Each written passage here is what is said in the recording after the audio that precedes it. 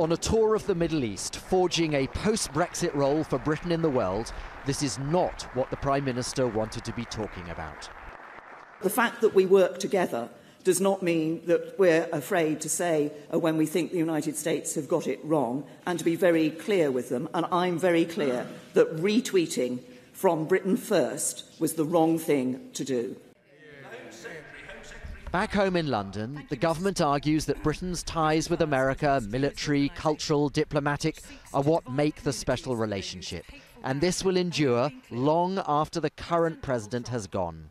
The Prime Minister will always have re regular calls with the President, and she has been explicit in criticising this tweet. And I know that she will always make sure that she calls it out where she sees it, and that is what she's done here. But a tweet from another minister, who is Muslim, made it clear the president had hit a raw nerve. Donald Trump has upset a lot of people here in Westminster. In theory, he's still invited to London on a state visit that would involve the Queen. In practice, it's very hard to see that visit happening anytime soon. The president has provided a huge publicity boost to a fringe far right movement, Britain First, which has never come remotely close to success in any form of election here in the UK.